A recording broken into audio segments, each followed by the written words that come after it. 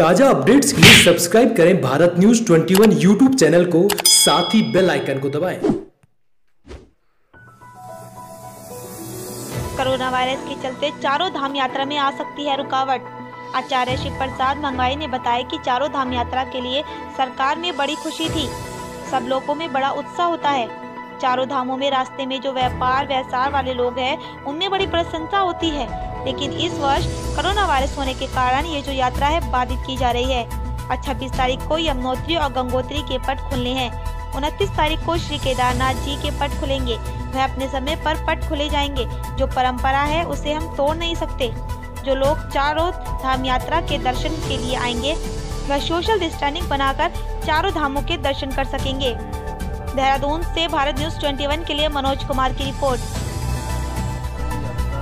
के लिए जो है सरकार इतनी प्रसन्न, इतनी खुश थी, ये इतने सब लोगों में जो है बड़ा उत्साह होता है चारों धामों में।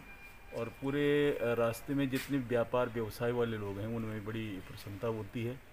लेकिन इस वर्ष जो है कोरोना वायरस के होने के कारण से जो यात्रा बाधित होने जा रही है, बाधित तो नहीं होगी क्योंकि हमारी 26 तारीख को यमुनोत्री, गंगोत्री के पट खुलने हैं। 29 तारीख को श्री केदारनाथ जी के और 30 तारीख को जय बद्रीनाथ जी के, वो तो अपने समय पर ही चारों धामों के पट जो है खोलने की एक जो परंपरा है वो तोड़ नहीं सकते। उसमें जो है सोशल डिस्टेंस के साथ साथ ही दूरी बना करके जो लोग आवश्यकता होगी उन लोगों को वहाँ जाने के लिए कहेंगे और फिर जो है चौदह तारीख के बाद पूरा निर्णय लिया जाएगा यात्रा पर जो है हमें क्या करना है। अट्ठारह तारीख को जैसे तेल पिराई जो है महारानी जी करती हैं राज दरबार में नरेंद्र नगर में, वो कार्य भी होगा। और उसके बाद जो हमारी एक चारधाम यात्रा से पहले कुछ लोग यहाँ पर एक हनुमान चालीसा का भी आयोजन करते थे, जिसमें सारे लोग बड़ी उत्साह के साथ एकत्रित होते थे, वो कार्यक्रम भी हमने रखा था।